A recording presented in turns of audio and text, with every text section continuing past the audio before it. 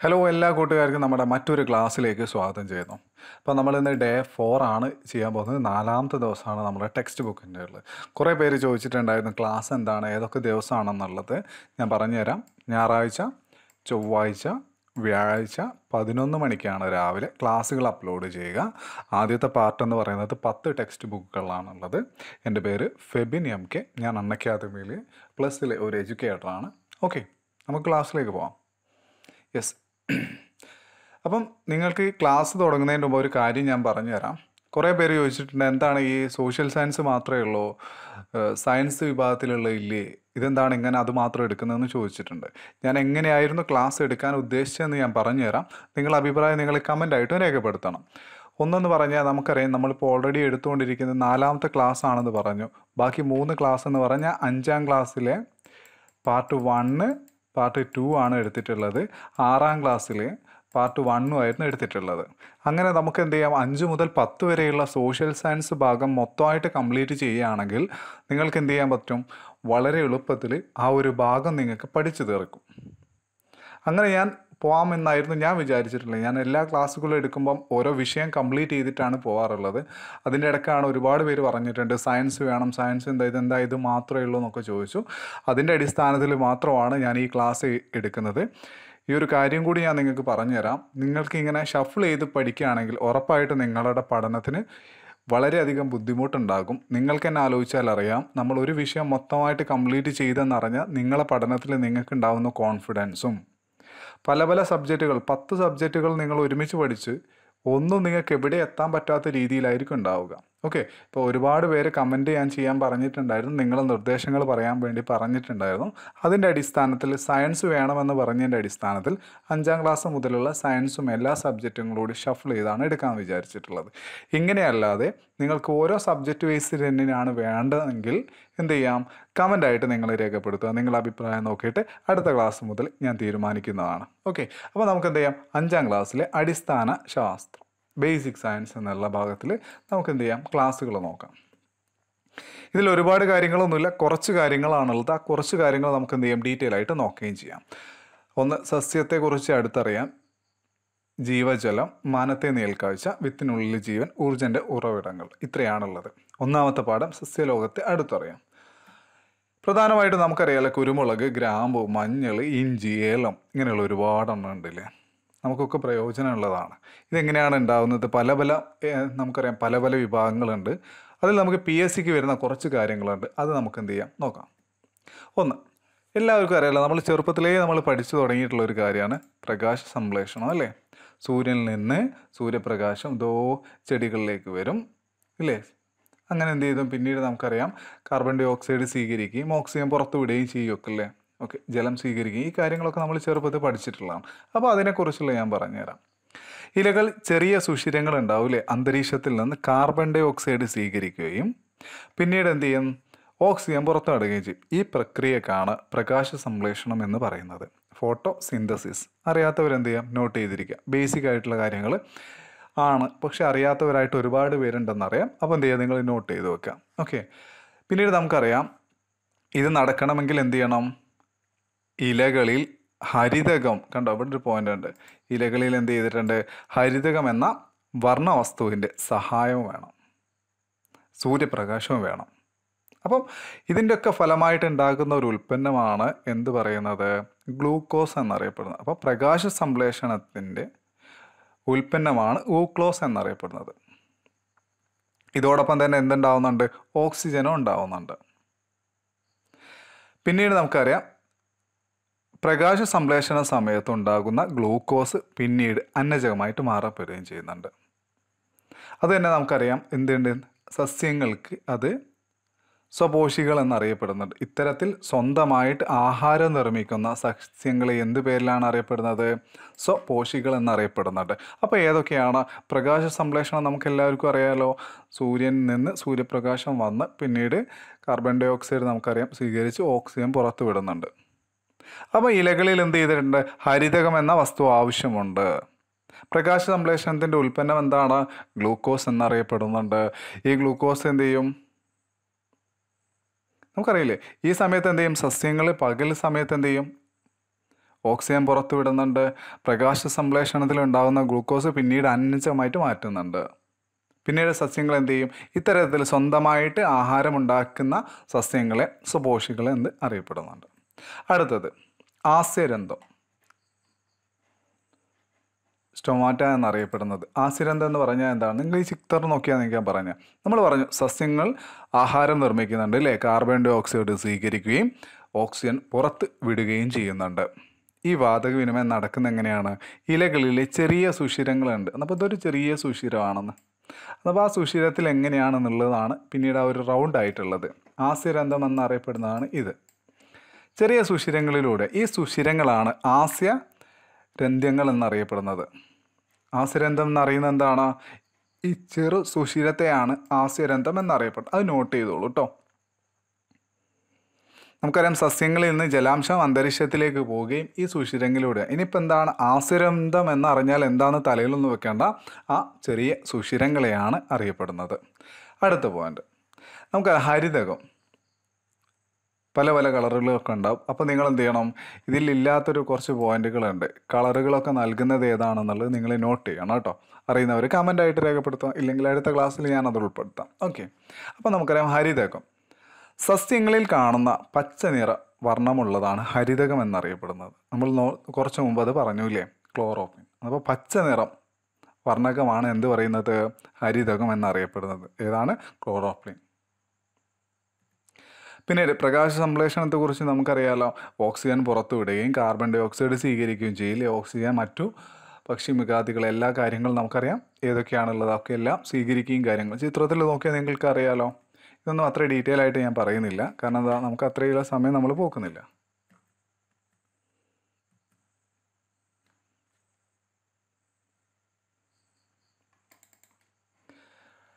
Yes പിന്നീട് നമ്മൾ നോക്കുന്നത് ഈ ചെടികൾ നിങ്ങൾ കണ്ടില്ലേ? മരവായ എന്നറിയപ്പെടുന്നത്. ഇനി നമുക്ക് ചെടികളെ കുറിച്ചുള്ള കാര്യങ്ങളാണ് പറയാൻ പോകുന്നത്. നമ്മൾ ഈ കണ്ടുകൊണ്ടിരിക്കുന്ന നമ്മളെ പ്രദേശത്തൊക്കെ കണ്ടുകൊണ്ടിരിക്കുന്ന ഈ മരവായ എന്ന് പറയുന്നത് ഇത് ഒരു ഓർക്കിഡാണ് മരവായ എന്നറിയപ്പെടുന്നത്. അന്തരീക്ഷത്തിൽ നിന്ന് ഈർപ്പം വലിച്ചെടുക്കാൻ ഇവയ്ക്ക് ഒരു പ്രത്യേകത ഉണ്ട്. ഇല്ലേ ആ വേരുകൾ വഴിയാണ് എടുക്കുക ഇവ എന്ത് വളരാൻ വേണ്ടിയിട്ട് മറ്റു മരങ്ങളെയൊക്കെയാണ് വാസസ്ഥലമായിട്ട് ഉപയോഗിക്കാറുള്ളത്. ഇത്തരം സസ്യങ്ങളെയാണ് എപ്പിഫൈറ്റുകൾ എന്നറിയപ്പെടുന്നത്. എപ്പിഫൈറ്റുകൾ എന്ന് പറഞ്ഞാൽ എന്താണ്? എപ്പിഫൈറ്റിന്റെ ഒരു ഉദാഹരണം എന്താണ്? മരവാഴ എന്ത് ചെയ്തിട്ടുണ്ട്? എപ്പിഫൈറ്റിന്റെ ഒരു ഉദാഹരണമാണ്. അപ്പം എന്ത് ചെയ്യാം? വാസസ്ഥലത്തിനായിട്ട് മറ്റു സസ്യങ്ങളെ ആശ്രയിക്കുന്ന സസ്യങ്ങളെയാണ് എന്ത് പറയുന്നത്? എപ്പിഫൈറ്റുകൾ എന്നറിയപ്പെടുന്നത്. ഓർക്കിഡ് സസ്യത്തിലെ ഏത് വിഭാഗത്തിലാണെന്ന് നമുക്കറിയാം. ഒരുവിധം വിഭാഗങ്ങളൊക്കെ എന്ത് ചെയ്തിട്ടുണ്ട്? എപ്പിഫൈറ്റുകൾ തന്നെയാണ്. അപ്പോൾ എന്ത് ചെയ്യാം? അപ്പോൾ ഓർക്കിഡ് സസ്യത്തിലെ മരവായാണെന്ന് മനസ്സിലായി. അന്തരീക്ഷത്തിൽ നീർപ്പം വലിച്ചെടുക്കുന്ന മനസ്സിലായി. മറ്റു സസ്യങ്ങളിൽ എന്ത് ചെയ്തിട്ടുണ്ട്? ആശ്രയിച്ച് ജീവിക്കുന്ന ജീവികളെ എപ്പിഫൈറ്റുകൾ എന്നാണ് അറിയപ്പെടുന്നത്. പരാത സസ്യങ്ങൾ നമുക്കറിയാം മരത്തിന്റെ മുകളിൽ മാവിന്റെ മുകളിലൊക്കെ നമ്മൾ കാണാറില്ല? ഇത്തിക്കണ്ണികൾ. അപ്പോൾ ഇത്തിക്കണ്ണികൾ മുൾട്ടാണിത്താണി ഇതൊക്കെ എന്ത് ചെയ്തിട്ടുണ്ട്? പരാത സസ്യങ്ങളാണ് പരാത സസ്യങ്ങൾ നമുക്കറിയാലോ ജലവും ലവണങ്ങളൊക്കെ മറ്റു ഭക്ഷങ്ങളിൽ നിന്ന് എടുത്തെടുക്കുന്നതില്ലേ? യെസ് നമുക്കറിയാം ലോകത്തിലെ തന്നെ ഏറ്റവും വലിയ പുഷ്പം ഏതാണ്? റഫ്ലേഷ്യയാണ് ലോകത്തിലെ തന്നെ ഏറ്റവും വലിയ പുഷ്പം. എന്ത് ചെയ്യുക അത് നോട്ട് ചെയ്ത് വെക്കുക. പരാത സസ്യങ്ങൾ ഏതൊക്കെയാണെന്നുള്ളത് നമുക്ക് മനസ്സിലായില്ലേ? ഇത് രണ്ടെണ്ണവും നിങ്ങൾക്ക് എന്ത് ചെയ്യാം? നോട്ട് ചെയ്ത് വെക്കുക. പിന്നീട് ജീവിതാവ ജീർണി നമുക്ക് ജീർണിച്ച ചില കാരണങ്ങൾ അറിയില്ലേ? നിങ്ങൾ ബ്രെഡിന്റെ അകത്തു നിന്നൊക്കെ ഉണ്ടാവാറുണ്ട്. പിന്നീട് മരങ്ങളിൽ നിന്നൊക്കെ ഉണ്ടാവാറില്ലേ? ജീർണാവശിഷ്ടങ്ങളിൽ നിന്ന് ഉണ്ടാവുന്നത് എന്ത്? ചെടികളൊക്കെ എന്താണ് പറയപ്പെടുന്നത്? ശവോപജീവികൾ എന്നാണ് അറിയപ്പെടുന്നത് കേട്ടോ. ശവോപജീവികൾ എന്നാണ് അറിയപ്പെടുന്നത്. അത് നോട്ട് ചെയ്ത് വെക്കുക. ഇനി ഇവയ്ക്ക് ഉദാഹരണം ഏതൊക്കെയാണ്? Neottia Monotropa. ഈ രണ്ടെണ്ണമാണ് ശവോജീവിയ ആയിട്ട് ഉദാഹരണങ്ങളായിട്ടുള്ളത്. ഈ രണ്ടെണ്ണം എന്ത് ചെയ്യാം? നോട്ട് ചെയ്ത് വെക്കുക. ഇതൊന്നും ചിലപ്പോൾ നിങ്ങൾക്ക് അധികാർക്കും അറിയില്ല. ഇവയുടെ ഉദാഹരണങ്ങൾ ചോദിച്ചു കഴിഞ്ഞാൽ ചിലപ്പോൾ എന്ത് ചെയ്യും? നമുക്ക് മാർക്ക് സ്കോർ ചെയ്യാൻ പറ്റുന്നതാണ്. ഓക്കെ പിന്നീട് അടുത്ത് നമ്മൾ നോക്കുകയാണ്. അപ്പോൾ അത് നിങ്ങൾ നോട്ട് ചെയ്തിട്ടുണ്ടാവുമെന്ന് വിചാരിക്കുന്നു. ശവോപജീവികൾ ഏതൊക്കെയാണ്? Neottia Monotropa. കേട്ടോ? ഇനി അടുത്തത്. കുരുമുളക് പടവലം പാവൽ മേന്തോന്നി. ഗ്ലോറിയോസ എന്നറിയപ്പെടും. അപ്പോൾ എന്ത് ചെയ്യാം? ഇത് മൂന്ന് നോക്കിക്കോളൂ. എന്തെങ്കിലും പ്രത്യേകതയുണ്ടോ? ആരോഹികൾ എന്നാണ് അറിയപ്പെടുക. ക്ലൈംബേഴ്സ് എന്താണ് ഈ ക്ലൈംബേഴ്സിന്റെ പ്രത്യേകത? നമുക്കറിയാം മറ്റു ചെടികളിൽ നിന്ന് ഇവർക്ക് എന്ത് ചെയ്യാം? ദുർബലമായിട്ടുള്ള ദുർബല കാണ്ട സസ്യങ്ങൾ എന്നാണ് ആരോഹികൾ അറിയപ്പെടുന്നത്. എങ്ങനെയാണ്? ഇതിങ്ങനെ പടർന്നു പോകല്ലേ യെസ് താങ്ങുകളിൽ ചുറ്റിപ്പറ്റി വളരുന്നതാണ് ഇവ. സ്പ്രിങ് പോലെ ഉണ്ടാകും. അപ്പോൾ എന്ത് ചെയ്യും? എന്നിട്ട് നിങ്ങൾക്ക് അറിയാം പടവലത്തിന്റെ ആണെങ്കിൽ കുരുമുളക് പാവലാണെങ്കിലും ഒക്കെ അല്ലേ? അപ്പം ആരോഹികൾക്ക് ഉദാഹരണങ്ങൾ ഏതൊക്കെയാണ്? കുരുമുളക് പടവലം പാവൽ തുടങ്ങിയൊക്കെ ഓക്കെ ഇനി അത് തെറ്റിപ്പോകരുത്. ഇതൊക്കെ എന്ത് ചെയ്തിട്ടുണ്ട്? ഇവയൊക്കെയാണ് ഏറ്റവും നല്ല ഉദാഹരണങ്ങളായിട്ടുള്ളത്.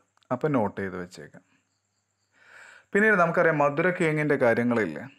കിഴങ്ങുകളൊക്കെ വഴി- ഇയവള്ളികൾ എന്നറിയപ്പെടില്ല? നിരത്ത് പടർന്ന് വളരുന്ന ഇയവള്ളികൾ മധുരക്കിഴങ്ങ് കൊടങ്ങൽ സ്ട്രോബെറി തുടങ്ങിയൊക്കെ എന്താണ്? ഇയവള്ളികളാണ് അപ്പോൾ അതൊന്ന് ഓർത്തിരിക്കാം. ഇനി പേരാൽ ആറ്റുകൈത ഇവയ്ക്ക് എന്താണ്? താങ്ങുവേരുകളും പൊയ്ക്കാൽ വേരുകളും എന്നറിയപ്പെടും. എങ്ങനെയാണ് ഉണ്ടാവുക? ജലവും ലവണങ്ങളും എന്ത് ചെയ്യും? ഈ മരത്തിന്റെ കീഴിലായിട്ട് നമുക്കറിയാം. ആറ്റുകൈതൊക്കെ നിങ്ങൾ കണ്ടിട്ടില്ല? അല്ലെങ്കിൽ പേരാലിലൊക്കെ കണ്ടിട്ടില്ലേ? കാരണം എന്ന് വെച്ചാൽ കണ്ടോ? ഇങ്ങനെ അവരുടെ വേരുകളൊക്കെ താഴോട്ടുണ്ടാവും. അപ്പോൾ ഇത്തരത്തിൽ വേരുകളെയാണ് താങ്ങുവേരുകളും പൊയ്ക്കാൽ വേരുകളും എന്നറിയപ്പെടുന്നത്. Prop roots and stilt roots എന്നറിയപ്പെടുന്നത്. പേരാൽ ആറ്റുകൈത.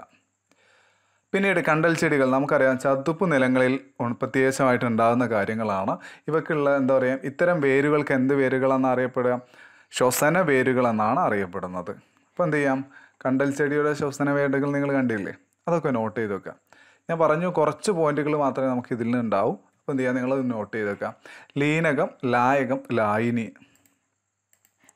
ലയിക്കുന്ന വസ്തുവിനെ ലീനമെന്നും ഏതിലാണോ ലയിക്കുന്നത് അതിനെ ലായകമെന്നും പറയുന്നു. അപ്പം ലയിക്കുന്ന വസ്തുവിനെ ലീനമെന്നും ഏതിലാണോ ലയിക്കുന്നത് അതിനെ ലായകമെന്നും പറയുന്നു. ലീനം ലായകത്തിൽ ലയിച്ചുണ്ടാകുന്ന ലായിനി. ലീനം ലായകത്തിൽ ലയിച്ചുണ്ടാകുന്നതാണ് ലായനി. അപ്പം ലയിക്കുന്ന ഏത് വസ്തുവിനെയാണോ ലീനമെന്ന് ലയിക്കുന്ന വസ്തുവിനെ ലീനമെന്നും ഏതിലാണോ ലയിക്കുന്നത് അതിനെ ലായകമെന്നും പറയുന്നുണ്ട്. പഞ്ചസാര ലായനിയിൽ പഞ്ചസാര ലീനവും വെള്ളം എന്താവുന്നുണ്ട്? ലായകവുമാവുന്നുണ്ട്. വല്ലതും മനസ്സിലാവുന്നുണ്ടോ? ഇത് പഞ്ചസാര കുറേ പഞ്ചസാര. ഇത് വെള്ളം. പഞ്ചസാര? നമുക്കറിയാം. പഞ്ചസാര ലായനിയിൽ. പഞ്ചസാര എന്താണ്? പഞ്ചസാര എന്ന് പറയുന്നത് എന്താ? ലീനം. ഇല്ലേ? വെള്ളം എന്താണ്? ഇത് വെള്ളമല്ലേ? ഇത് ലായകം. നമ്മൾ എന്താ ലയിക്കുന്ന വസ്തുവിനെ ലീനം. എന്നപ്പോൾ ഈ ലയിക്കുന്ന വസ്തു എന്താണ്? പഞ്ചസാരയല്ലേ? ഇത് പഞ്ചസാരയല്ലേ? യെസ്. അപ്പോൾ ലയിക്കുന്ന വസ്തുവിനെ എന്താ അറിയപ്പെടുന്നത്? ലീനമെന്നും. ഏതിലാണോ ലയിക്കുന്നത്? അതിനെ എന്താ വന്നു. അപ്പോൾ വെള്ളത്തിന് എന്താ പറയുന്നത്? ലായകം. വെള്ളത്തിന് എന്താ അറിയപ്പെടുന്നത്? ലായകം. മനസ്സിലായോ? അപ്പോൾ അത്രയും ഓർത്തിരിക്കുക അപ്പോൾ ഇത് രണ്ടും കൂടി ഉണ്ടായ മിക്സ് ചെയ്ത് എന്താണ്? ലായിനി. ഓക്കെ അത് ഓർത്തിരുന്നാൽ മതി.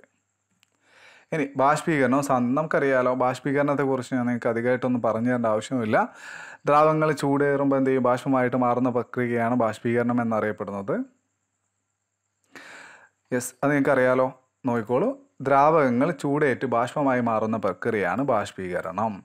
വാതകങ്ങൾ തണുക്കുമ്പോൾ ദ്രാവകമായിട്ട് മാറുന്നതിന് സാന്ദ്രീകരണം എന്നും പറയപ്പെടുന്നുണ്ട്.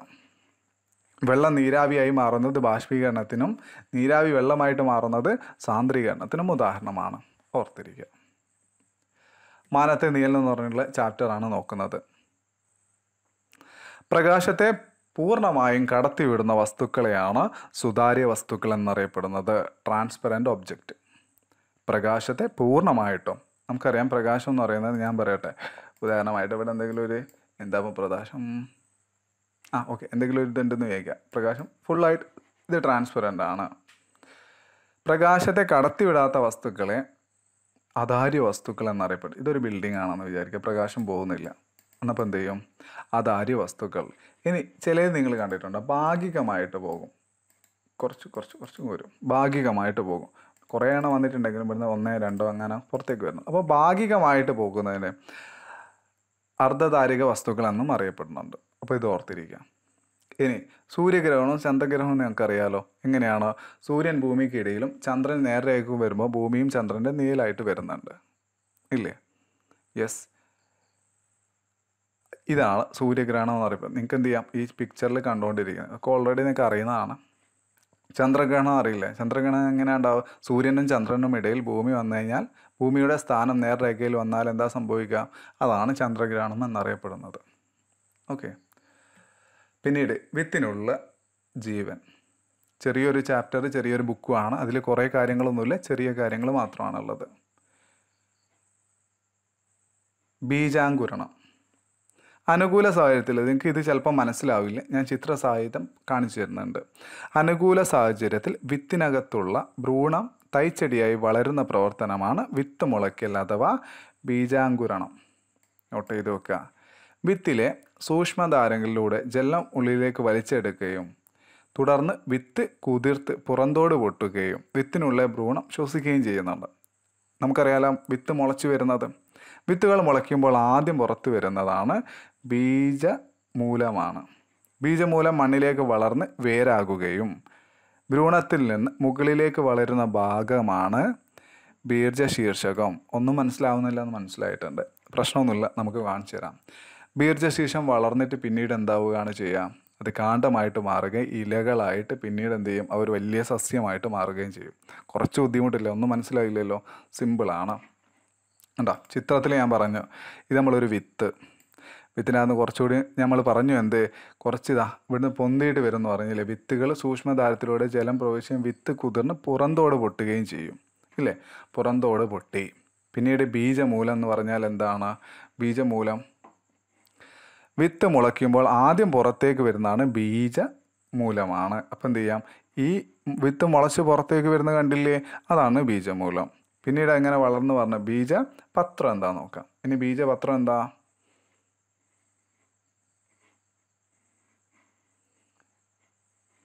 യെസ് ബീജപത്രം എന്ന് പറഞ്ഞാൽ കാരണം ഇതിങ്ങനെ വളർന്നിട്ട് കുറച്ചുകൂടി വലുതാകുന്നുള്ള. ബീജശീർഷം എന്ന് പറഞ്ഞാലോ പിന്നീട് കുറച്ചുകൂടി വലുതായിട്ട് മറ്റൊരു ഘട്ടത്തിൽ. അങ്ങനെ എന്ത് ചെയ്തിട്ടുണ്ട്? ഈ നാല് ഘട്ടങ്ങൾ നോക്കിക്കോളൂ. നാലെല്ലാം വിത്ത് ഇട്ടത് മുതൽ വളരുന്ന വരെയുള്ളത്. ജസ്റ്റ് നിങ്ങളൊന്ന് നോക്കി വെക്കുക. എന്താണെന്ന് ചോദിച്ചു കഴിഞ്ഞാൽ അതിന് ഉത്തരം പറയാതിരിക്കാൻ വേണ്ടിയിട്ടാണ് ഞാൻ ഈ കാര്യങ്ങൾ നിങ്ങൾക്ക് പറഞ്ഞു തരുന്നത്. ക്ലിയർ അല്ലേ? യെസ് റെഡി അല്ലേ? ഓക്കെ ഇനി അടുത്തത്. നമുക്കറിയാം വിത്തുകൾ നമുക്കറിയാം ഒരുപാട് രീതികളിൽ വളരുകയും കാര്യങ്ങളൊക്കെ ഉണ്ടല്ലേ?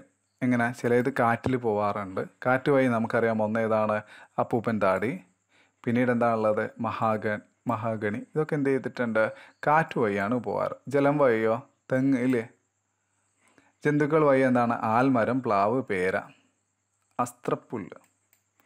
പൊട്ടിത്തെറിച്ചാണ് വെണ്ട കാശിത്തുമ്പ. ഇതൊക്കെ ഒന്ന് ജസ്റ്റ് നോക്കിയൊക്കെ. എങ്ങനെയാണ് ഇത് ഉണ്ടാവുന്നത് ഇതും വലിയ ഇമ്പോർട്ടന്റ് ഒന്നുമല്ല. ജസ്റ്റ് നിങ്ങൾക്ക് എന്ത് ചെയ്യാം? ഈ കാര്യങ്ങൾ ഓർത്തിരിക്കാൻ വേണ്ടിയിട്ടാണ്. ഊർജത്തിന്റെ ഉറവിടങ്ങൾ. നമുക്കറിയാം പ്രധാനമായിട്ടും പല പല ഊർജങ്ങളുണ്ട്. അതിൽ ചെറിയ ഞാൻ ഒരു കാര്യം പറയാം. എവിടെ വെച്ചിട്ടാണ് പെട്രോളിയത്തിൽ നിന്ന് പെട്രോളിയത്തിൽ നിന്ന് ഡീസൽ പെട്രോൾ അല്ല കേട്ടോ പെട്രോളിയത്തിൽ നിന്ന് ഡീസൽ മാറ്റുന്നത്. പെട്രോളിയം അല്ലേ ഡീസൽ പെട്രോൾ തുടങ്ങിയ വേർതിരിക്കുന്ന എവിടെ നിന്നാണ് പെട്രോളിയം റിഫൈനറിയിൽ നിന്നാണ്. പാരമ്പര്യ ഊർജ സ്രോതസ്സുകൾ ഏതൊക്കെയാണ്? നമുക്കറിയാം കോടിക്കണക്കിന് വർഷങ്ങൾക്ക് മുമ്പ് തന്നെ മണ്ണിന്റെ അടിയിലൊക്കെ എന്ത് ചെയ്തിട്ടുണ്ട്? ആയത്തിലാകപ്പെട്ടു പോയിട്ടുള്ള ജൈവാവശിഷ്ടങ്ങളിൽ നിന്ന് അതിൽ നിന്നൊക്കെ എന്ത് ചെയ്തിട്ടുണ്ട്? പെട്രോളിയൊക്കെ ഉണ്ടാക്കുന്നുണ്ട്. ഗൾഫിലൊക്കെ നിങ്ങൾക്ക് ഓർമ്മയില്ലേ? സസ്യങ്ങളുടെ അവശിഷ്ടങ്ങളിൽ കൽക്കരി ഉണ്ടാക്കുന്നുണ്ട്. ഇങ്ങനത്തിൽ ഉണ്ടാക്കുന്നതിനാണ് എന്ത് പറയുന്നത്? ഫോസിൽ ഇന്ധനങ്ങൾ എന്നറിയപ്പെടുന്നത്.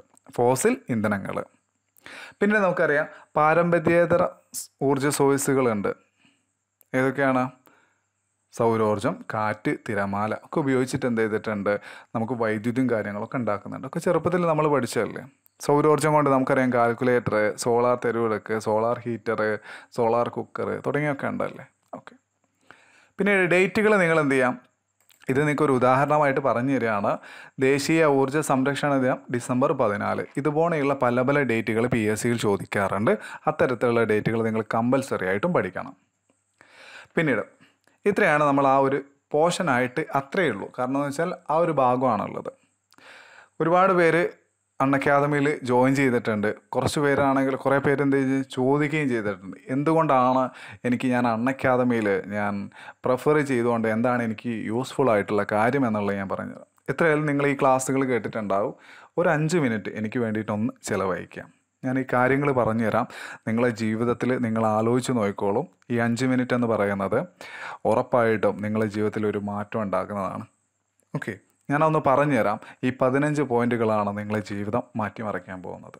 ഓക്കെ ഒന്നെന്ന് പറഞ്ഞാൽ എന്തുകൊണ്ടാണ് അൺ അക്കാദമി എടുക്കേണ്ടതെന്ന് എല്ലാവരും ചോദിക്കാറുണ്ട്. മെയിനായിട്ട് ഒന്നെന്ന് പറഞ്ഞാൽ നമുക്കറിയാം ഇപ്പോൾ ഈ ഒരു സിറ്റുവേഷൻ എന്ന് പറഞ്ഞാൽ നമുക്കറിയാം എല്ലാവരും അത്രയും ഡിഫിക്കൽട്ടായിട്ട് മുന്നോട്ട് പോകുന്ന അവസ്ഥയിലാണ് അല്ലേ? പല പല സമയങ്ങളിൽ നമുക്ക് അറിയാം ഗവൺമെന്റ് അത്ര ഇനീഷ്യേറ്റീവ് എടുക്കുകയാണ്. മാറ്റങ്ങളെല്ലാം മാറ്റി എല്ലാം പെട്ടെന്ന് മാറട്ടെ നമുക്ക് ആലോചിക്കാം. ഈ സമയത്ത് നിങ്ങൾ എങ്ങനെയാണ് പഠിക്കാറുള്ളത്? നമ്മൾ കുറച്ച് നോട്ട്സുകളും കാര്യങ്ങളും പ്രിപ്പയർ ചെയ്യില്ലേ? കുറച്ച് നോട്ട്സുകളും കാര്യങ്ങളും പ്രിപ്പയർ ചെയ്യും. കുറച്ച് പഠിക്കും. പിന്നെ കുറച്ച് ടി വി കാണും. കുറച്ച് മൊബൈൽ കാണും. ഇങ്ങനെയൊക്കെയല്ലേ ഉള്ളത്? റെഗുലറായിട്ട് നിങ്ങളൊരു കോഴ്സിൽ അറ്റൻഡ് ചെയ്യുകയാണെങ്കിൽ ഈ സമയത്ത് ഞാൻ എപ്പോഴും പറയാറുണ്ട് നിങ്ങൾ ഈ കഴിഞ്ഞ മാസം ഇല്ലേ ഒരു മാസം കഴിഞ്ഞു. ഇല്ലേ മെയ് മാസം തുടങ്ങിയിട്ടുണ്ട്. ജീവിതത്തിൽ ഒരു മാസം നിങ്ങൾ നഷ്ടപ്പെടുത്തി. എന്ത് കിട്ടി? ഒന്നും കിട്ടിയിട്ടില്ല. പക്ഷെ പഠിക്കുന്ന ഒരുപാട് പേരുണ്ട്. ഒന്നാമത്തെ നിങ്ങളെ ബെനിഫിറ്റ് എന്ന് പറയുന്നത് നിങ്ങൾക്ക് ഡെയിലി ലൈവ് ക്ലാസ്സുകളുണ്ട് ഡെയിലി ലൈവ് ക്ലാസ്സുകൾ എന്ന് പറഞ്ഞാൽ നമുക്ക് എങ്ങനെയാണ് ഡെയിലി ടോപ്പ് എഡ്യൂക്കേറ്റേഴ്സ് നിങ്ങൾക്ക് ക്ലാസ്സുകൾ എടുക്കുന്നുണ്ട്. ഞാനും അതിലൊരു ക്ലാസ് എടുക്കുന്നുണ്ട്. മുപ്പത്തിയഞ്ചിലധികം ടോപ്പ് എഡ്യൂക്കേറ്റേഴ്സാണ് നിങ്ങൾക്ക് ക്ലാസ്സുകൾ എടുക്കുന്നുള്ളത് തേർട്ടി ഫൈവ് പ്ലസ് ഇനി നിങ്ങൾക്ക് എന്ത് ചെയ്യാം നിങ്ങൾ ബിസി ടൈം ഒക്കെ കഴിഞ്ഞിട്ട് നിങ്ങൾക്ക് ഇത് ക്ലാസ് കാണണമെന്ന് വിചാരിച്ചു നിങ്ങൾക്ക് ഏറ്റവും നല്ല ബെനിഫിറ്റ് എന്താണെന്ന് അറിയാം നമുക്കറിയാം ഒരു ഓഫ്ലൈൻ ക്ലാസ് ആണെങ്കിൽ പിന്നീട് നമുക്കത് റീകലക്ട് ചെയ്യാൻ പറ്റില്ല. നമ്മൾ എഴുതുന്ന നോട്ടിന്റെ അകത്ത് നമുക്ക് എന്തെങ്കിലും മിസ്റ്റേക്ക് ഉണ്ടെങ്കിൽ നമുക്ക് ആ ഒരു കാര്യങ്ങൾ ഞാൻ പറയട്ടെ. ഇംഗ്ലീഷ് മാത്സ് മലയാളം ഇതില്ലാത്ത നിങ്ങൾക്ക് ഒരാൾക്കും എന്ത് ചെയ്യാൻ പറ്റില്ല? പി എസ് സി കയറാൻ പറ്റില്ല. നൂറ് ശതമാനം ഉറപ്പാണ്. ഇത് എത്ര പേർക്ക് അറിയാം? കാരണം ഇത് നമുക്ക് എങ്ങനെയാണ് പഠിക്കുക? റിപ്പീറ്റേഷൻ റിപ്പീറ്റേഷൻ റിപ്പീറ്റേഷൻ അതെങ്ങനെ ചെയ്യണം? നിങ്ങൾ ക്ലാസ് കേട്ട് കഴിഞ്ഞാൽ പിന്നീട് നിങ്ങൾക്ക് എന്ത് ചെയ്യാം? ആ ക്ലാസ്സുകൾ കേൾക്കാം. ഓഫ്ലൈനിൽ നിങ്ങൾക്ക് റെക്കോർഡ് അവിടെ ക്ലാസ് അവിടെ ഉണ്ടാകും. നോട്ട് നിങ്ങൾ എഴുതണോ? വേണ്ട. നിങ്ങൾക്ക് ഓരോ ക്ലാസ്സിന്റെയും പി ഡി എഫ് ആയിട്ടുണ്ടാവും നിങ്ങൾക്ക് അവിടെ. പി ഡി എഫ് ഉണ്ട്. ടൈം കൺസ്യൂമേഷൻ ഉണ്ട് വരുന്നുണ്ട്. ഇനി പിന്നീട് നിങ്ങൾ ശ്രദ്ധിക്കേണ്ട ഒരു കാര്യമുണ്ട്. എല്ലാവരും ശ്രദ്ധിക്കാത്തൊരു കാര്യം. ബേസിക്കായിട്ട് നിങ്ങൾക്ക് ഒരാൾക്കും അറിയില്ല. ബേസിക് ആയിട്ട് കുറേ പേര് എന്ത് ചെയ്തിട്ടുണ്ട്? ഇപ്പോഴും അറിയാത്തവരുണ്ട്. നിങ്ങൾ ഫസ്റ്റ് കംപ്ലീറ്റ് ചെയ്യേണ്ടത് യുവർ ലെവൽ മനസ്സിലാക്കുക ബേസിക് ലെവൽ ആ ലെവലിൽ എന്ത് ചെയ്യണം? പ്ലസ് ചെയ്ത് പ്ലസ് ചെയ്ത് പ്ലസ് ചെയ്ത് കൊണ്ടുവരണം. അതിനുള്ള ഒരു ചാൻസ് എന്ന് പറഞ്ഞാൽ ഈ ഒരു സമയം ഈ സമയം നിങ്ങൾ മാക്സിമം യൂട്ടിലൈസ് ചെയ്യൂ. എങ്ങനെയാ നമ്മളെ ലെവൽ നമ്മൾ കൂട്ടി കൂട്ടി കൊണ്ടുവന്നിട്ട് പിന്നീട് നിങ്ങൾ എന്ത് ചെയ്യണം?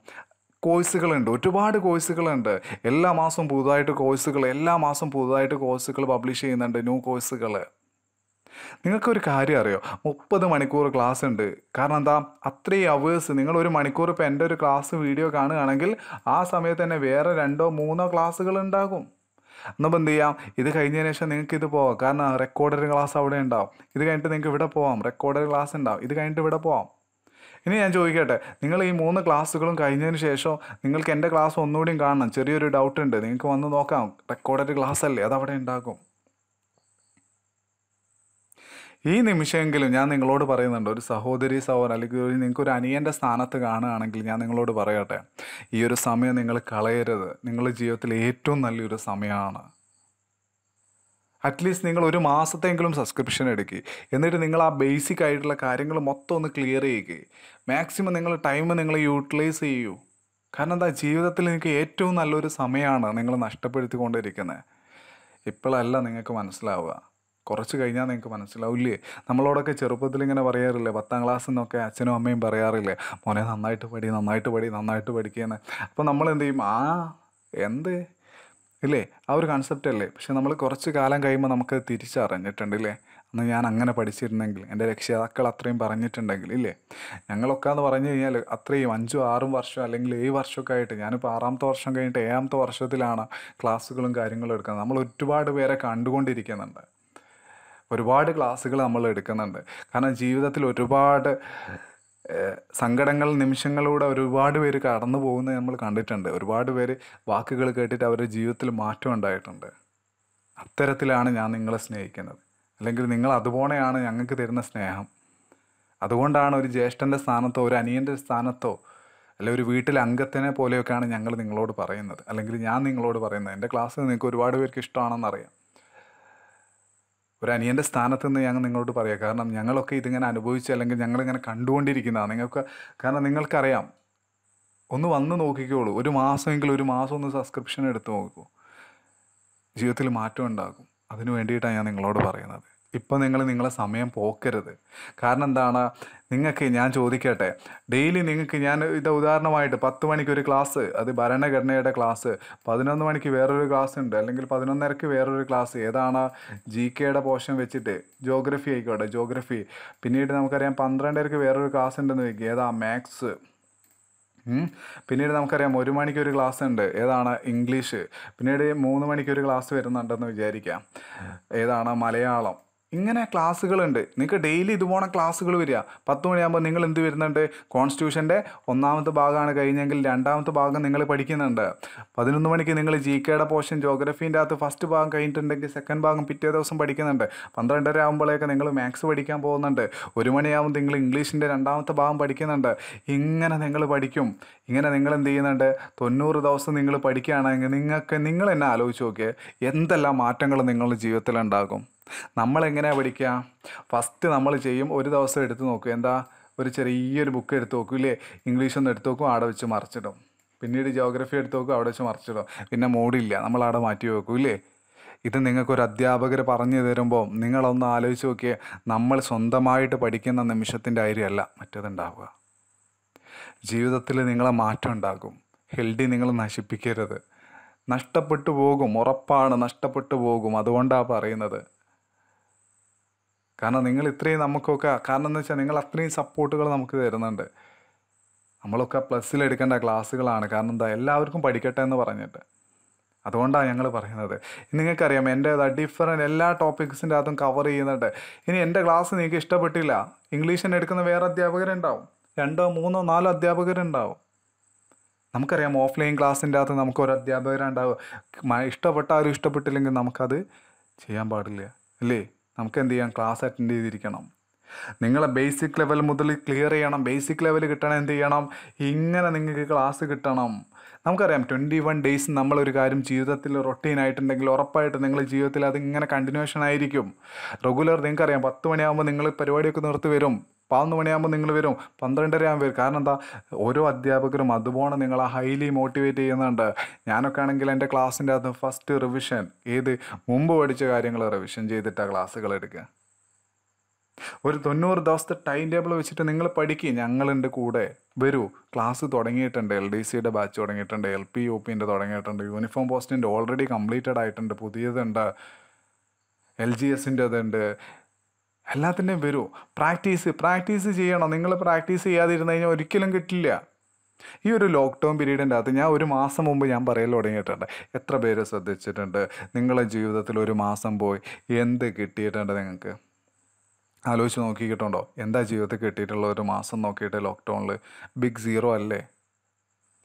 മനസ്സിൽ നെഞ്ഞത്ത് കൈവച്ചിട്ട് നിങ്ങൾക്ക് പറയാൻ പറ്റുമോ? നിങ്ങളൊരു പത്ത് പേജ് നിങ്ങൾ കംപ്ലീറ്റ് ചെയ്തിട്ടുണ്ടെന്നുള്ള? ആത്മാർത്ഥമായിട്ട് പറയുന്ന എത്ര പേരുണ്ട്? ഉണ്ടോ? ഇല്ല എനിക്ക് നെഞ്ചത്ത് എനിക്ക് ഉറപ്പുണ്ട്. അൺ അക്കാദമി പ്ലസ്സിലെടുത്തവർ ഒരു മാസം കൊണ്ട് എൽ ഡി സിയുടെ മുപ്പത്തി അഞ്ച് ശതമാനം അവർ കംപ്ലീറ്റ് ചെയ്തിട്ടുണ്ട്. നയന്റീൻ ഡേയ്സിന്റെ പ്രോഗ്രാം നടന്നുകൊണ്ടിരിക്കുകയാണ്. അവർ കംപ്ലീറ്റ് ചെയ്തിട്ടുണ്ട്. കണ്ടോ? ഡിഫറൻസ് മനസ്സിലായില്ലേ? അവരോടാണ് നമ്മൾ മത്സരിക്കാൻ പോകുന്നത്. നിങ്ങളുടെ സ്റ്റഡി പ്ലാൻ എന്താണ്? ഒരു ഡൗട്ട് ഉണ്ടെങ്കിൽ നിങ്ങൾ ആരോടാണ് ചോദിക്കുക? എങ്ങനെ നിങ്ങൾ കംപ്ലൈന്റ് ചെയ്യും? അങ്ങനെയുള്ള ഒരു രീതിയിലാണ് ഈ പതിനഞ്ച് കാര്യങ്ങൾ നിങ്ങൾ ജീവിതത്തിൽ അണ്ണക്കാദമി നൽകുന്നുണ്ട്. എത്ര പേര് ശ്രദ്ധിച്ചിട്ടുണ്ട്? ആരൊക്കെ ശ്രദ്ധിച്ചിട്ടുണ്ട്? എല്ലാ പ്രാവശ്യവും നമ്മൾ പറയുന്നത് എന്തുകൊണ്ടാണ്? നിങ്ങൾ വരൂ ജീവിതത്തിൽ നഷ്ടപ്പെടുത്തരുത്. നിങ്ങൾ ഇത്രയും നല്ലൊരു അവസരം നിങ്ങൾ ജീവിതത്തിൽ നഷ്ടപ്പെടുത്തരുത്. വിഷമമുണ്ട് അതുകൊണ്ടാണ് ഞാൻ നിങ്ങളോട് പറയുന്നത്. അല്ല എനിക്ക് ക്ലാസ് എടുത്ത് പോയാൽ മതി പ്രശ്നമൊന്നുമില്ല. നോർമലി നമുക്കൊക്കെ എടുത്ത് പോയാൽ മതി. ഒരു വർഷവും രണ്ട് വർഷവും ഒന്നും ഞാൻ എടുക്കാൻ നിങ്ങളോട് പറയുന്നില്ല. ഒരു മൂന്ന് മാസത്തേക്ക് ഒരു തൊണ്ണൂറ് ദിവസം നിങ്ങൾ ജീവിതത്തിൽ ഒന്ന് മാറ്റി വെച്ച് നോക്കി ഒരുപാട് പൈസകളില്ലേ? നിങ്ങളിപ്പം കേട്ടുകൊണ്ടിരിക്കുന്ന നിങ്ങളെ മൊബൈലിന് എത്ര പൈസ ഉണ്ട്? ഇല്ലേ? അയ്യായിരം പതിനായിരം പതിനയ്യായിരം ഇരുപതിനായിരം ഒക്കെ കൊടുത്തിട്ടല്ലേ നമ്മൾ വാങ്ങുന്നത് മൊബൈലിൽ നിങ്ങളെ ജീവിതത്തിൽ നിങ്ങൾ ആലോചിച്ച് നോക്കുക നിങ്ങളെ ജീവിതം മാറ്റിമറിക്കുന്ന ഒരു പരീക്ഷയ്ക്ക് വേണ്ടിയിട്ട് എന്ത് ഇൻവെസ്റ്റ് ചെയ്തു നിങ്ങൾ എന്ത് ചെയ്തിട്ടുണ്ട്? അപ്പോൾ നമ്മൾ എന്ത് ചെയ്യും? ഒരുപാട് കാൽക്കുലേറ്റ് ചെയ്യും ഇല്ലേ? നമ്മളൊക്കെ അങ്ങനെയല്ലേ ചെയ്യാറുള്ളത്? നമ്മളൊക്കെ ഒരുപാട് കാൽക്കുലേറ്റ് ചെയ്യും. നിങ്ങളാണെങ്കിൽ ഞാനാണെങ്കിൽ. ഒരു മൊബൈൽ എടുക്കാനാണെങ്കിൽ നമ്മളൊന്നും ആലോചിക്കാറില്ല. പൈസ റെഡിയാക്കി നമ്മൾ പോവും നമ്മൾ പോയി എടുക്കുകയും ചെയ്യും. ജീവിതം മാറ്റിമറിക്കുന്ന പരീക്ഷകൾ എൽ ഡി സി എന്ന് പറഞ്ഞാൽ എന്താണ്? എന്ത് എളുപ്പത്തിൽ നിങ്ങൾക്ക് സ്കോർ ചെയ്യാൻ പറ്റും. നമ്മൾ പരീക്ഷകൊക്കെ പറയാറുണ്ട് കാണാതെ പഠിക്കേണ്ട ഒരു പരീക്ഷയല്ല പി എസ് സി എന്ന് പറയുന്നത്. കാരണം എന്താ നാല് ഓപ്ഷനിൽ ബെസ്റ്റ് ഓപ്ഷൻ നിങ്ങൾ ചൂസ് ചെയ്യുക എന്നുള്ളൊരു പണി മാത്രമാണ് നിങ്ങൾക്ക് നൽകുന്നത് അല്ലേ? അതിലേക്കാണ് നിങ്ങളെ പ്രാപ്തരാക്കുന്നത്. കാണാതെ പഠിക്കാൻ വേണ്ടിയിട്ടല്ല എമംഗ് ഫോർ അതിലൊരു ബെസ്റ്റ് ഓപ്ഷൻ ഏത് പരീക്ഷയ്ക്കാണ് ഇതുപോലെ ഉള്ളത്? നിങ്ങളെ ജീവിതം മാറ്റിമറിക്കുന്നത് കെ എസിനുണ്ടോ ഇല്ല. പ്രിലിംസ് കഴിഞ്ഞാൽ നമ്മൾ മെയിൻസ് അറ്റൻഡ് ചെയ്യണം ഇന്റർവ്യൂ ചെയ്യണം. എസ് ഐക്ക് ഉണ്ടോ ഫിസിക്കൽ വരുന്നുണ്ട്. മെയിൻസ് വരുന്നുണ്ട്. ഇല്ലേ? യെസ് ജീവിതത്തിൽ ഇതുപോലെയുള്ള പരീക്ഷകളൊക്കെ മത്സരിക്കുന്ന സമയത്ത് ജീവിതത്തിൽ നിങ്ങൾ നോക്കണം. എന്ത് ഞാൻ ഇൻവെസ്റ്റ് ചെയ്തു? അതാണ് നിങ്ങൾ നോക്കേണ്ടത്. ജീവിതത്തിൽ നിങ്ങൾ ഒരുപാട് ആലോചിക്കേണ്ട. ഈ പതിനഞ്ച് കാര്യങ്ങൾ നിങ്ങളെ ജീവിതത്തിൽ നിങ്ങൾക്ക് കൊണ്ടുവരികയാണെങ്കിൽ ഇതുപോലെ നിങ്ങൾ പഠിക്കുകയാണെങ്കിൽ നിങ്ങൾക്ക് ഇപ്പോൾ ഉറപ്പില്ലേ? ജീവിതത്തിൽ മാറ്റം ഉണ്ടാവും എന്നുള്ളത് ഉറപ്പുണ്ടാകും. എനിക്ക് മാറ്റമുണ്ട്. നിങ്ങൾക്ക് ഓരോരുത്തർക്കും ഉറപ്പുണ്ട് എന്ന്. എന്നിട്ട് നിങ്ങൾ ആലോചിക്കുക അല്ലേ? ഡെയിലി ലൈവ് ക്ലാസ്സുകൾ സ്ട്രക്ചേർഡ് ആയിട്ടുള്ള കോഴ്സുകൾ ടെസ്റ്റ് സീരീസുകൾ ക്വിസുകൾ അൾട്ടിമേറ്റ് ആക്സസ്സുകൾ ഏതൊക്കെ കോഴ്സുകളുണ്ടോ നിങ്ങൾക്ക് അതൊക്കെ ആക്സസ് ചെയ്യാം പഠിക്കാം പഠിക്കാം. നന്നായിട്ട് ഇരുന്ന് പഠിക്കാം. നോട്ട്സുകൾ പ്രിപ്പയർ ചെയ്യാം ഡൗട്ട് ക്ലിയർ ചെയ്യാം ഇതെങ്ങനെ ഫൈറ്റ് ചെയ്യൂ നിങ്ങൾ? ജീവിതത്തിൽ ഫൈറ്റ് ചെയ്ത് മുമ്പോട്ട് പോകൂ. ഫൈറ്റ് ചെയ്യുന്നവർക്കാണ് വിജയം ഉണ്ടാവുക. പിന്തിരിഞ്ഞോടുന്നവരല്ല പടയാളികളായിട്ട് മുന്നോട്ട് ഇറങ്ങിയിട്ട് ഫൈറ്റ് ചെയ്യണം എന്തിനൊക്കെ. അറിയാത്ത വിഷയങ്ങൾ പഠിക്കണം. ഡൗട്ടുള്ളതൊക്കെ ഞങ്ങൾ ഞങ്ങളൊക്കെ എന്താ പറയുന്നതാ? നിങ്ങൾ ഞങ്ങളൊക്കെ ചോദ്യങ്ങൾ ചോദിച്ച് കുഴപ്പിക്കണം. അപ്പം എന്ത് ചെയ്യാം? നിങ്ങൾക്ക് എന്ത് ചെയ്യാം? ക്ലിയർ ചെയ്യാൻ പറ്റുമോ? മടി വിചാരിക്കേണ്ട ആവശ്യമില്ല. കാരണം എന്താ? നിങ്ങളെ ഞങ്ങൾ കാണുന്നില്ല. ഞങ്ങളെ മാത്രമേ നിങ്ങൾ കാണുന്നുള്ളൂ. ജീവിതത്തിൽ ഇത്രയും നല്ലൊരു ഓഫറുകൾ അല്ലെങ്കിൽ ഇത്രയും നല്ലൊരു പ്ലാറ്റ്ഫോം കിട്ടി ഇത്രയും ഒരു നല്ല സമയം കിട്ടിയിട്ട് നിങ്ങളിത് യൂട്ടിലൈസ് ചെയ്തില്ലെങ്കിൽ ജീവിതത്തിൽ ഞാൻ നിങ്ങളോട് പറയുന്നുണ്ട് നിങ്ങളുടെ ജീവിതത്തിൽ നിങ്ങൾ ഇന്നത്തെ ദിവസങ്ങളൊക്കെ നിങ്ങൾ മാർക്ക് ചെയ്ത് വെച്ചോളൂ. ജീവിതത്തിലെ നഷ്ടക്കണക്കുകളിൽ നിങ്ങളെ സ്വപ്നത്തിലേക്ക് കയറാൻ പറ്റാത്ത നിമിഷങ്ങളിൽ ഈ ദിവസങ്ങൾ നിങ്ങൾക്ക് ഉൾപ്പെടുത്താൻ പറ്റും. ഉറപ്പാണ്.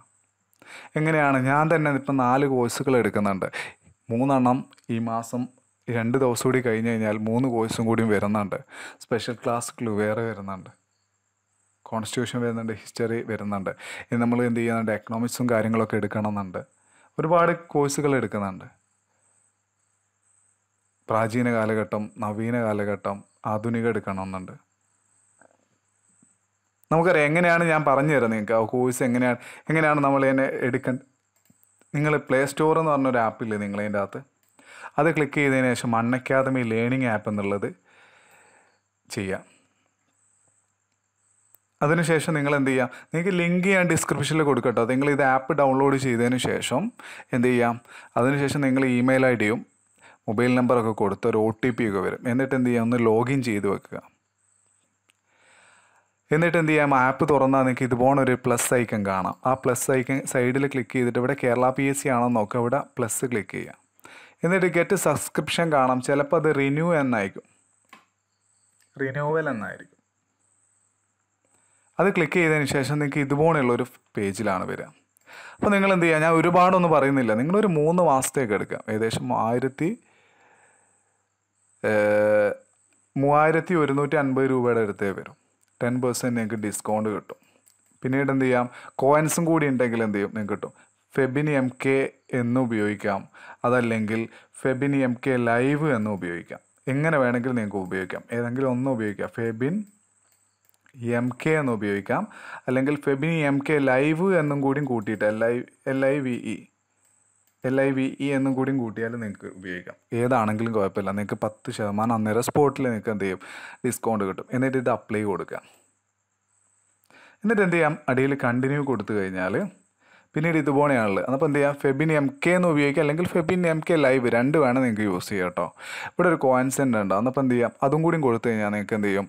പത്ത് ശതമാനം ഡിസ്കൗണ്ട് കിട്ടും. പത്ത് ശതമാനം ഏത് ഇതിന് പത്ത് ശതമാനവും കോയിൻസിനെല്ലാം കൂടി ഒമ്പത് ശതമാനം അപ് ടു ഒമ്പത് ശതമാനം വരെ കിട്ടും. അങ്ങനെ എന്ത് ചെയ്യുക പത്തൊമ്പത് ശതമാനം വരെ നിങ്ങൾക്ക് എന്ത് ചെയ്യാം? അപ് ടു കിട്ടും.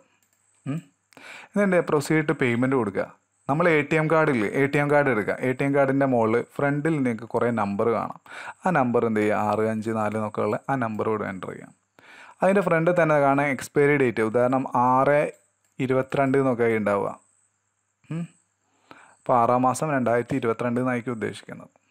കാർഡിന്റെ പുറകിൽ എന്ത് ചെയ്യുക? ഒരു മൂന്ന് നമ്പർ കാണാം. സി വി വി നമ്പർ അത് എന്റർ ചെയ്യുക. കാർഡിന്റെ പേരും കൊടുത്ത് കഴിഞ്ഞിട്ട് പേയ്മെന്റ് കൊടുക്കുക അതപ്പോൾ നിങ്ങൾ ഏത് രജിസ്റ്റേർഡ് മൊബൈൽ നമ്പർ ആണോ അതിലേക്ക് ഒരു എസ് എം എസ് വരും ഒ ടി പി ആയിട്ട്. ഒ ടി പി അടിച്ചാൽ നിങ്ങൾക്ക് അൺ അക്കാദമി പ്ലസ്സിൽ ജോയിൻ ചെയ്യാം. ഇനി അതല്ല നിങ്ങൾക്ക് റെഗുലറായിട്ട് അടിക്കാനാവില്ല. നിങ്ങൾക്ക് പേയ്മെന്റ് ആയിട്ട് അടിക്കുകയാണെങ്കിൽ ഇ എം ഐ ഓപ്ഷൻ എന്ന് പറഞ്ഞിട്ട് കാണാം. ഒരു ഇ എം ഐ ഓപ്ഷൻ ഉണ്ട്. ഏത് ബാങ്ക് ആണെന്നുള്ളത് സെലക്ട് ചെയ്യാം. എന്നാൽ നിങ്ങൾക്ക് എന്ത് ചെയ്യാം? ഇ എം ഐ ഓപ്ഷനും കിട്ടുന്നതാണ്. ഓക്കെ അപ്പോൾ എന്ത് ചെയ്യാം? റഫറൽ കോഡ് നിങ്ങൾക്ക് എന്ത് ചെയ്യാം? ഫെബിൻ എം കെ ലൈവ് എന്ന് യൂസ് ചെയ്യാം. ഫെബിൻ എം കെ വെറും F E B I N F E B I N M K എന്നുള്ളതും യൂസ് ചെയ്യാം. ഏത് വേണമെങ്കിലും നിങ്ങൾക്ക് യൂസ് ചെയ്യാം. ഒരുപാട് പേര് ചോദിച്ചിട്ടുണ്ട് നിങ്ങൾക്ക് എങ്ങനെയാണ് പഠിക്കേണ്ടത്? നിങ്ങൾക്ക് ഒരുപാട് ഡൗട്ട്സുകളും കാര്യങ്ങളൊക്കെ ഉണ്ട്. അങ്ങനെ ഞാൻ എന്തായാലും നമ്പർ തരുമെന്നൊക്കെ ചോദിച്ചിട്ടുണ്ടായിരുന്നു. എന്റെ നമ്പർ എന്ന് പറയുന്നത് ഇതാണ്. പ്രത്യേകം നിങ്ങൾ ശ്രദ്ധിക്കുക. ആഫ്റ്റർനൂൺ മാത്രമേ നിങ്ങൾ വിളിക്കാവൂ. അതിന് മുമ്പ് വിളിച്ചു കഴിഞ്ഞാൽ ഞാൻ എടുക്കില്ല. കാരണം എന്താ എനിക്ക് അൺ അക്കാദമിയിൽ ക്ലാസ്സുകളുണ്ട്. ഒരുപാട് ക്ലാസ്സുകൾ എടുക്കുന്നുണ്ട്. അതുകൊണ്ട് എന്ത് ചെയ്യാം? ആഫ്റ്റർനൂൺ മാത്രം വിളിക്കാം. ഓക്കെ എൺപത്തെട്ട് തൊണ്ണൂറ്റി മൂന്ന് പൂജ്യം എൺപത്തെട്ട് തൊള്ളായിരത്തി മുപ്പത്തി മൂന്ന് നമ്പറാണ്. ഇനി ടെലഗ്രാം ചാനൽ വേണമെങ്കിൽ അറ്റ് ടെക്സോൺ പി എസ് സി എന്ന് അടിച്ചു നോക്കിയാൽ നിങ്ങൾക്ക് ടെലഗ്രാം ചാനലും കാണാം. ഓക്കെ. യെസ് റെഡി അല്ലേ ഇത് നിങ്ങൾക്ക് യൂട്യൂബിലാണെങ്കിൽ ഇങ്ങനെ സെർച്ച് ചെയ്ത് നോക്കിയാലും എന്റെ ചാനൽ കാണാം. അപ്പം എന്ത് ചെയ്യാം? എല്ലാവരെയും ഞാൻ സ്വാഗതം ചെയ്യുന്നുണ്ട്. നിങ്ങളെല്ലാവരും വന്നിട്ട് അക്കാദമിയിൽ വന്നിട്ട് നിങ്ങൾ ക്ലാസ്സുകൾ കാണുകയും അതുപോലെ തന്നെ നിങ്ങൾ പഠിക്കുകയും വരുന്ന റാങ്ക് ലിസ്റ്റിന്റെ അകത്ത് നിങ്ങൾ ഉൾപ്പെടുമെന്നുള്ള ആത്മവിശ്വാസം എനിക്കുണ്ട്. എല്ലാവരും എന്ത് ചെയ്യാം? റഫറൽ കോഡ് മടന്നു പോകേണ്ട. ഫെബിനി എം കെ എന്നത് യൂസ് ചെയ്യാം. അല്ലെങ്കിൽ ലൈവ് എന്ന് യൂസ് ചെയ്യാം. നിങ്ങൾക്ക് ഏത് യൂസ് ചെയ്ത് കഴിഞ്ഞാലും ടെൻ പെർസെന്റ് നിങ്ങൾക്ക് ഡിസ്കൗണ്ട് കിട്ടുന്നതാണ്. അപ്പോൾ എന്ത് ചെയ്യാം? വരിക ജോയിൻ ചെയ്യുക നന്നായിട്ട് പഠിക്കുക. ഓക്കെ? അപ്പോൾ നിങ്ങൾ അഭിപ്രായം നിങ്ങൾ കമന്റായിട്ട് രേഖപ്പെടുത്തണം. ഏതൊക്കെയാണ് നമുക്ക് സോഷ്യൽ സയൻസ് ആയിട്ട് മതിയോ അല്ലെങ്കിൽ ബേസിക് സയൻസോട് കൂട്ടിയിട്ട് ഒരു അവിയൽ രൂപത്തിൽ വേണോ അല്ലെങ്കിൽ ഏത് രൂപത്തിലാണ് വേണ്ടതെന്നുള്ളത് നിങ്ങൾ കമന്റായിട്ട് രേഖപ്പെടുത്തുക. മാക്സിമം എല്ലാ കൂട്ടുകാർക്കും ഷെയർ ചെയ്ത് കൊടുക്കുക മറന്നു പോകരുത്. നിങ്ങളുടെ ക്ലാസ്സിന്റെ ഫീഡ്ബാക്ക് അനുസരിച്ചിട്ട് മാത്രമായിരിക്കും പാർട്ട് ടു അൺ ചെയ്യുക. അതുകൊണ്ട് എന്ത് ചെയ്യുക മാക്സിമം നിങ്ങൾ കമന്റായിട്ട് രേഖപ്പെടുത്തുക. എല്ലാ കമന്റുകളും ചെയ്തോളൂ. എത്ര വേണമെങ്കിലും കമന്റ് ചെയ്തോളൂ. എല്ലാ കൂട്ടുകാർക്കും വേണ്ടിയിട്ട് ഷെയർ ചെയ്തോളൂ. ക്ലാസ് ഇഷ്ടമായ ലൈക്ക് ചെയ്യുക. ഓക്കെ നിങ്ങൾ അഭിപ്രായം മറന്നു പോവാതെ എന്ത് ചെയ്യാം? കമന്റ് ആയിട്ട് രേഖപ്പെടുത്തുക. It's me signing off Febin M K thank you thank you all